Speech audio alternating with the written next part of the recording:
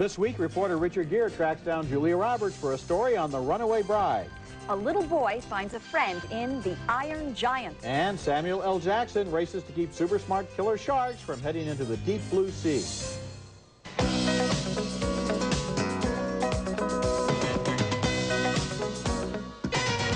Hey, you're that reporter, right? Yeah? There he is again. Snoop Doggy Dog. Richard Gere is a newspaper columnist on the trail of Julia Roberts in Runaway Bride. It's one of five new movies we'll review this week. I'm Roger Ebert, film critic of the Chicago Sun-Times, and across the aisle from me is this week's guest critic. And I am Joyce Kulhawik, film critic for WBZ TV in Boston, and it is great to be here, Roger. I knew it would come to this. yes, you are my Oscar buddy. We stand next to each other on the red carpet and harass the stars right. as they go into You're the the Academy one in the Awards. That's right. Okay, our first movie is Runaway Bride, reuniting after nine years the director and the co-stars of Pretty Woman. But this is a pale shadow of Garry Marshall's wonderful 1990 film. Richard Gere stars as a newspaper columnist who writes a reckless, woman-bashing column based on a story told to him by a drunk in a bar about a Maryland woman who has stranded, he says, seven or eight would-be husbands at the altar. The bride, played by Julia Roberts, is outraged. She only stood up three guys. She writes a letter to the editor claiming 15 factual errors.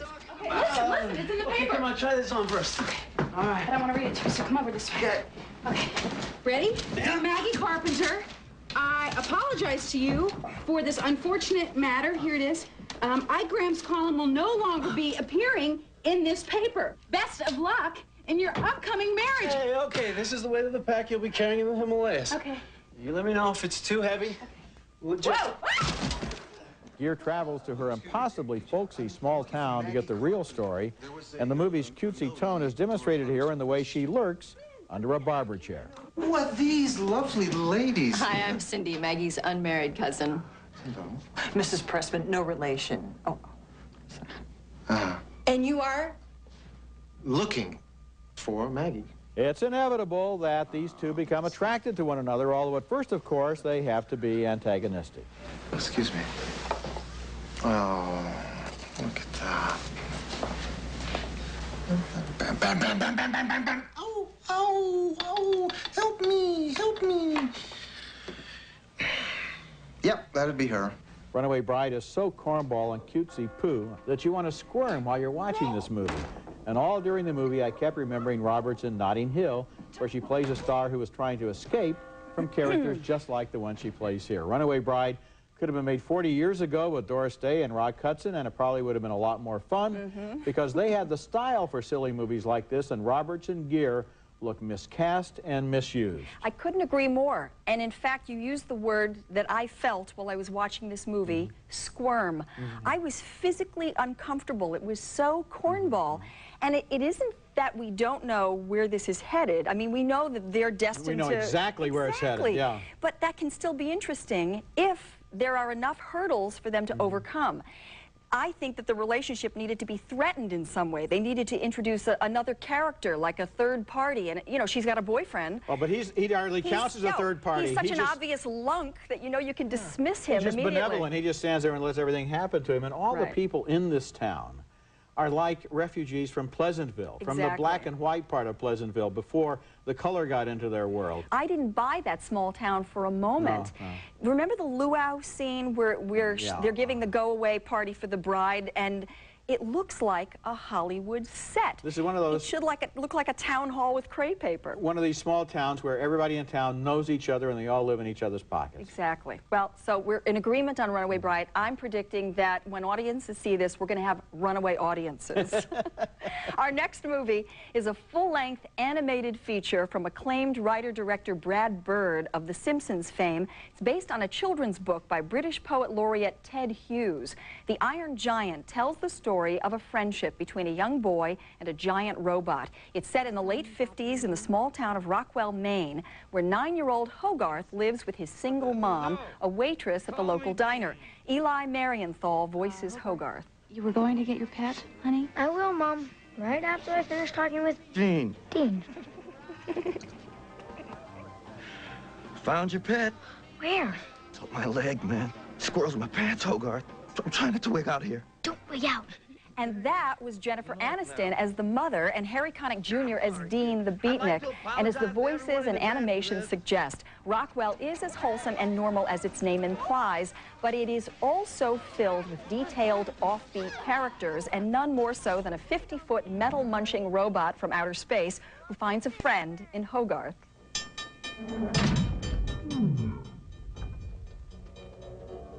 Put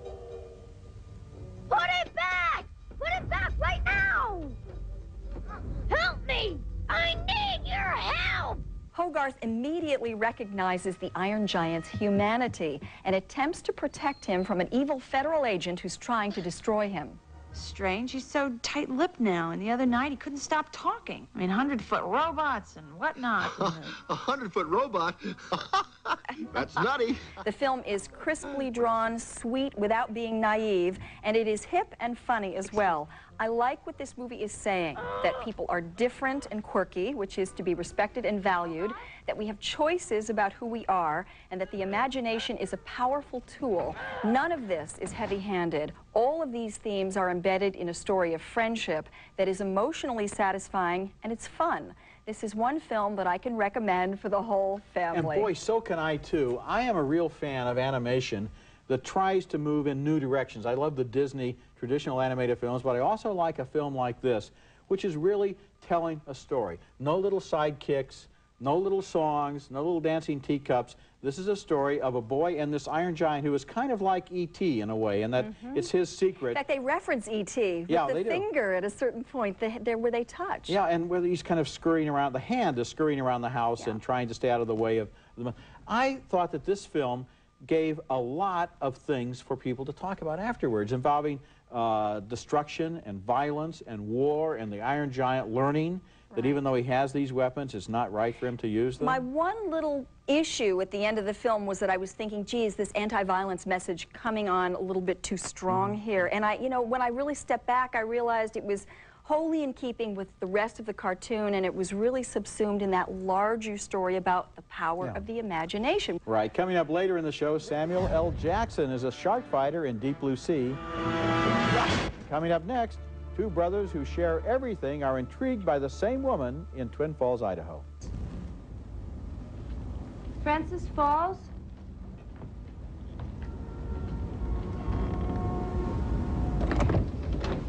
Hello. I'm Francis. She's broke and desperate and has resorted to prostitution, but her call to a seedy hotel opens up a much different world. In that scene from the brilliant new film Twin Falls, Idaho, Michelle Hicks is the desperate young woman, and identical twins Michael and Mark Polish play Siamese twins. They've called her hoping for what may be their first sexual experience, but she runs away, only to return with her friend, a doctor, when she finds out one of the twins is ill. Get them some proper food. What do they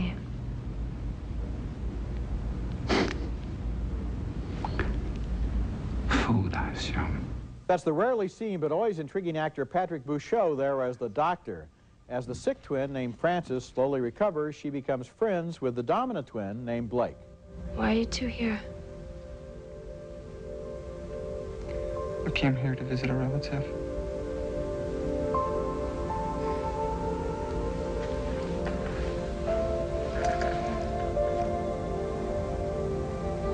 But how come you don't get sick? Who would take care of Francis? One thing about having three legs, there's one night of the year when you don't look out of place. There's another couple here, and they're dressed like Siamese, but they don't look anything like you two.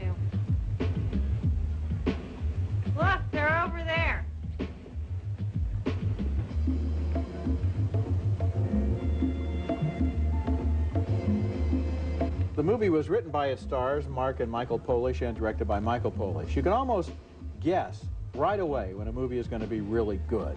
Twin Falls, Idaho struck me like House of Games in the company of men, Fargo, or Happiness. It's powerful, original work. The idea of Siamese twins is not handled as a gimmick, but as a way to explore how these two men have developed a love and mutual dependence that is almost inspiring. And like all good fiction, the movie involves change. As she gets to know them better and understand them, the young woman learns a lot about her own life. Twin Falls, Idaho isn't all serious, though. It's funny, sardonic, and ironic, too, and I think it's one of the year's best films. Boy, I, I couldn't No? disagree with you more. You know, I recognize this as a very worthy film, Mm-hmm.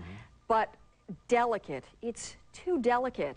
And I didn't think that that it did open up those themes of interdependence and intimacy. I mean, I think what we get from the film is that it's tough to be conjoined twins, and that sometimes they want to be separate.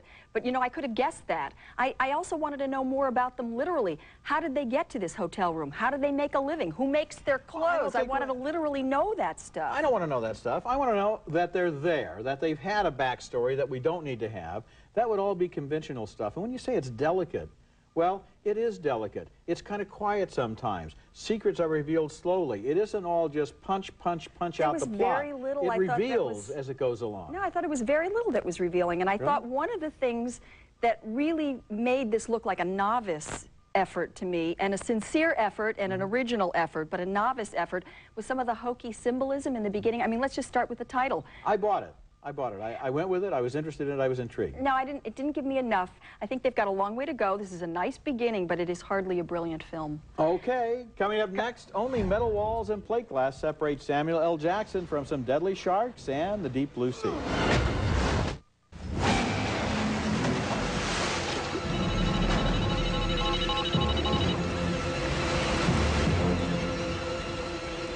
Bad dreams?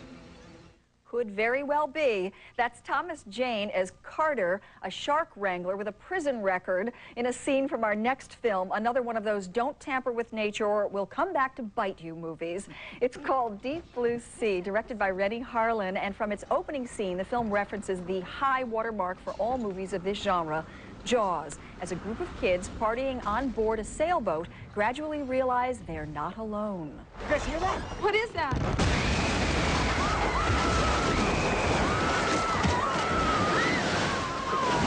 The intruder is one of three angry, souped-up Mako sharks who've escaped from a floating laboratory where a team of scientists led by the gorgeous Dr. Susan McAlester, played by Saffron Burrows, has been experimenting on their brains. Hmm, what could go wrong there? Tell me I didn't see that.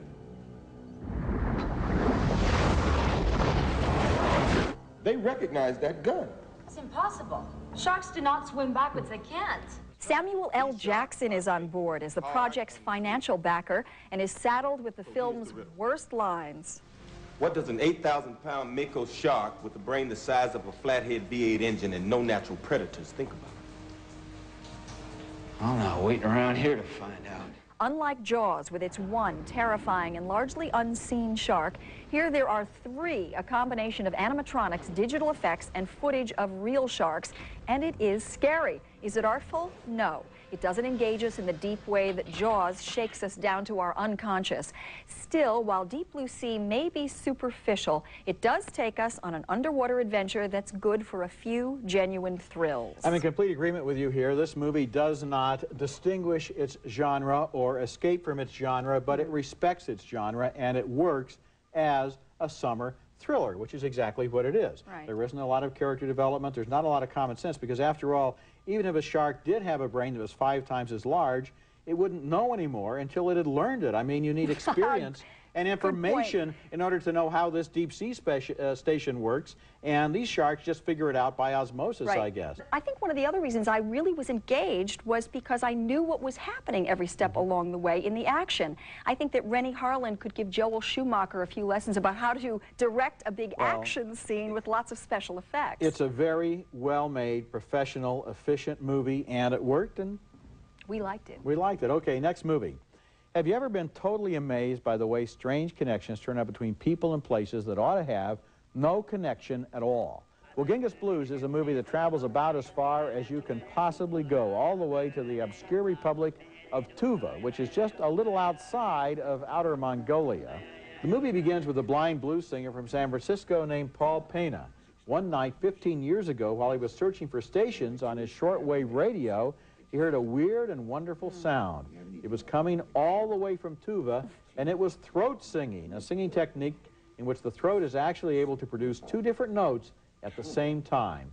And in some rather inexplicable way, I managed to figure out by the sound of what they were doing, what they were doing with their mouths to create that sound. Well, that's strange connection number one, Paul Pena and the shortwave radio. Connection number two is that the famous physicist Richard Feynman and his friend Ralph Leighton, who is seen here, had always wanted to go to Tuva simply because it was so far away. So they founded the Friends of Tuva and eventually sent the blind bluesman and his sidemen to Tuva for a throat singing competition. Do it, come on. Come on.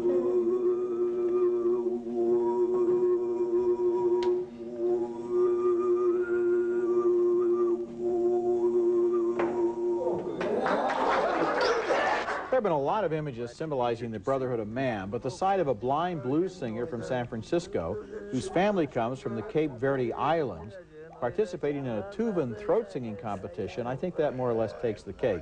And it helps that Paul Pena is such a fascinating man, funny, gentle, with a sort of sad story of his own.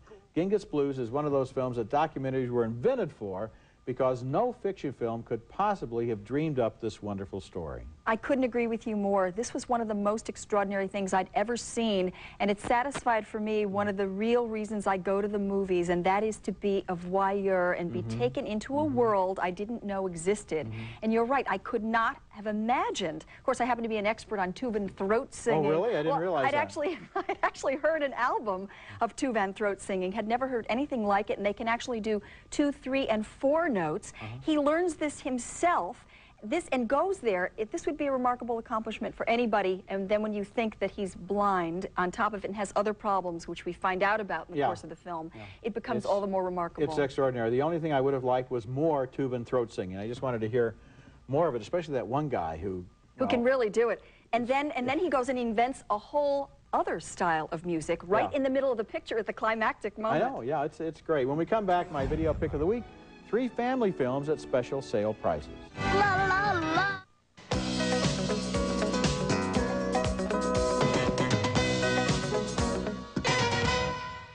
Week is brought to you by Nestle's Raisinets. At the movies or at home, Raisinets.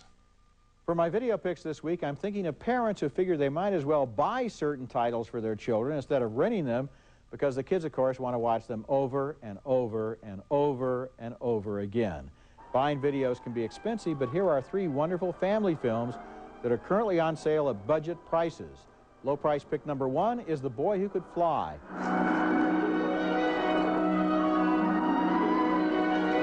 Budget price pick number two, Babe, the original Babe, the enchanting story of a pig who thought it was a dog. Move along there, you, you, uh, big buttheads.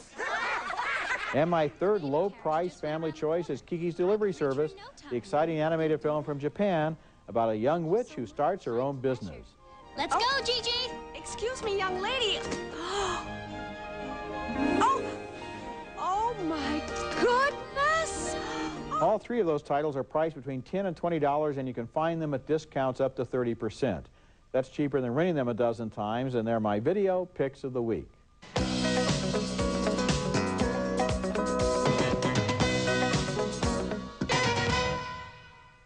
For many years, this program has advocated a reform of the MPAA rating system that would make it possible for adults in America to see movies exactly as their directors intended them to be seen.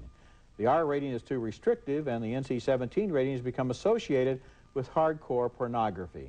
I've suggested a new A rating to come between the R and the NC-17. It would mean adults only, but not pornography.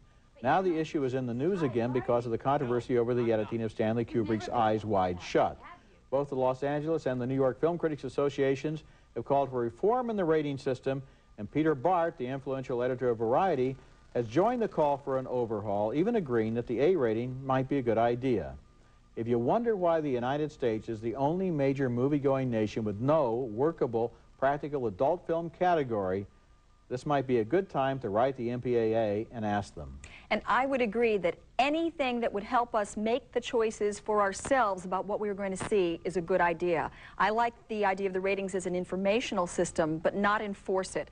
I want to make the decision about what I'm going to see and what my child is going to see, and not have that superseded by anybody else's So you're, authority. you're really a libertarian.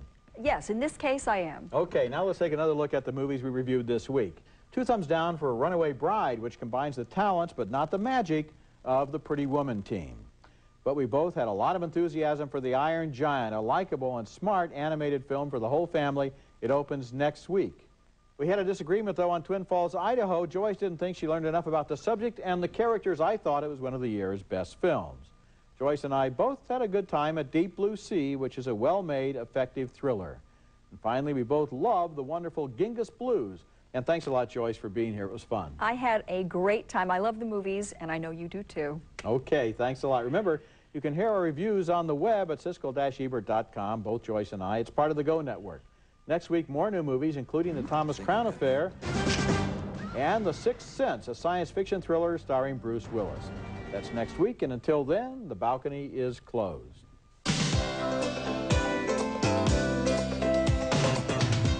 For a limited time, save 25% off Meineke's lifetime mufflers, backed by a nationwide warranty. At Meineke, you won't pay a lot, but you'll get a lot. Urinary pain isn't going to stop you today. Urostat, from the makers of Monistat, relieves urinary pain until you can see your doctor. If you only use detergent, you're only doing half the job. You need Jet Dry. Hey, hey, look at that, huh? No spots, no film. Jet Dry, your dishwasher was designed for it. Nothing tastes like popcorn cooked in a pot on the stove. Except, mmm, new home-style microwave popcorn from Pop Secret. Closed captioning for Siskel and Ebert is brought to you by 1-800-US-SEARCH. Locate a long-lost friend or family member. Find anyone. Call 1-800-US-SEARCH.